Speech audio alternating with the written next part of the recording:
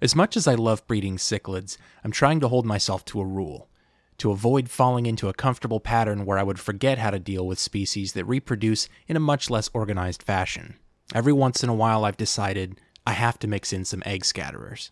These emperor tetras that I'll be showing you today are known, as far as tetras go, to be relatively easy to breed. For me, they'll be the last stop, I think, before I move on to something a bit more masochistic. I want to start off with some thoughts on sexing, which for this species should be no trouble at all. Let's look at females first and just notice a few things. The body shape, subtle coloration, length of the fins, and that greenish yellow eye color. Now, if we look at a male, the contrast should be fairly obvious. They're much larger and more colorful on the body and the fins, and notice the bright yellow regions on those fins, which, while not entirely absent on a female, are hard to miss on a male. The thin black extension protruding from the center of the caudal fin, also, while present on females, is much longer on a male. Lastly, look at the difference in eye color. Instead of the greenish yellow we saw in females, the eyes of a male are bright, almost luminescent blue. The differences between sexes are less pronounced at a young age, but the eye color and caudal fin extensions should be observable from well before a salable size. I've had this group for a while though, they're fairly well grown, and in preparation for breeding, I fed them a lot of high protein foods, with brine shrimp being the staple. I used a small tank to actually spawn them. I think it's about three gallons, but really that's just to make it easier for me to film, so use what you have. One thing I like to do is give females some time to adjust to a new tank before getting harassed by a male, so I like to use a divider to keep him at bay for a while. The females I kept on the other side, along with some vegetation where they might like to spawn. I want them to feel comfortable in this area because as soon as I release that male, he's going to be pushing them in here anyway.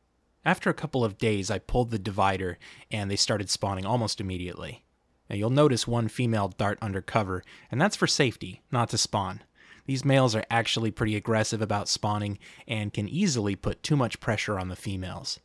The other female was more receptive and, as you can see, entered more deliberately along with the male.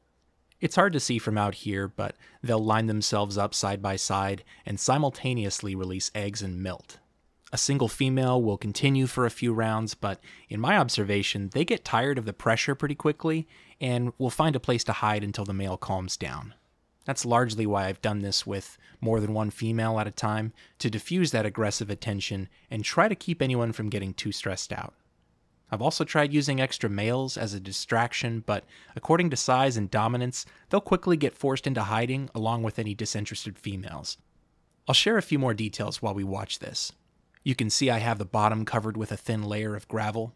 Now, egg scatterers, frankly, are not the smartest fish in the pond, and many of them will turn around and eat their own eggs if they find them. So, it can be helpful to have them spawn over some kind of a structure that makes those eggs harder to find. I didn't plan on moving the eggs somewhere else to hatch, and in that scenario, gravel has kind of become my preference. As far as water parameters, I've found emperors to be fairly undemanding. The water was about 77 degrees with a pH in the high 7s, and what I'm finding to be a seasonally high mineral content. Out of curiosity, I tried using softer water, but I didn't notice any significant change in productivity. I let them spawn for as long as the females would tolerate, then removed all adults from the tank. What I observed next was very similar to my experience with ember tetras. The eggs seemed to hatch very quickly. No more than 24 hours later, I started to find fry dangling beneath the vegetation or clinging to the glass. Still undeveloped, mostly transparent, and stationary. Over the next several days, they continued to develop and eventually took on a posture that looked like they someday might consider moving. Most of them stayed close to the shelter of the vegetation, but there were a small number that would consistently hang out near the surface of the water, which I found odd. I wanted to take a bit more hands off approach to raising these fry, so while they were still in their icicle phase, I started preparing the tank to feed them. I added a good number of paramecia, which, if you're not familiar with, would fall under the category of what we call infusoria. I'm a big fan of Paramecium caudatum in particular because they're easy to see and easy to culture reliably. I had also previously added some dry leaves to the tank to start breaking down and act as a food source for even smaller organisms that the Paramecia could live on for a while. I don't usually go this far, but like I mentioned, I really wanted to let the tank handle feeding for a while so that I could spend my time keeping cichlids from killing each other. I continued adding extra paramecia to the tank once or twice a week until the fry reached about this size here. This is well beyond the size where they could take larger foods, but I wanted to make sure any smaller fry that I hadn't seen yet would still have a chance to catch up before I switched to something larger.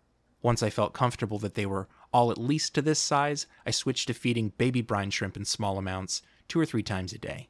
From that point, as usual, it's been pretty smooth sailing, just feeding, occasional water changes, and waiting for them to grow.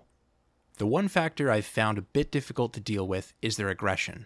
Males, females, even surprisingly young fry, they're pretty mean, and if any of them get a size advantage, they can really put the beat down on everybody else. In retrospect, I could have waited to amass a larger group of fry, and that would have helped diffuse the aggression, but you live and learn. This male in particular has gotten very aggressive recently, but on a more positive note, he can serve as an example of the size you might buy them at. He's about three months old, and as you can see, the sexual dimorphisms have already become pretty obvious. He was actually trying to breed with the females too, so I suspect that long grow out periods won't be a major obstacle if you want to breed these yourself. So that's been my experience with Emperor Tetras. A little feisty, but not difficult to breed if you're so inclined. That'll be all for this one, so I'll see you next time to talk about Gold Laser Corydoras. Thanks for watching.